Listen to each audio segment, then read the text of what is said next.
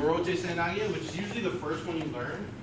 Um, but Morote, it just means two hands. Two hands on the collar. Uh, it's two hands, uh, one on the collar, one on the sleeve.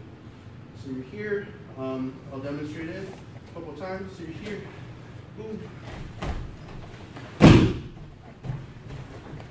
So if you go to a judo class, you hear them talk a lot about talking the triangle. It means they're drawing an equilateral triangle between big toes, and you're gonna put your foot at the top of the equilateral triangle here. The first step, I like to put it, my heel comes on the top of the equilateral triangle, almost turn 90 degrees. Okay? So one, two, three. So here, first step, one, big window. Now there's so much space for me to get in. Two, I can throw.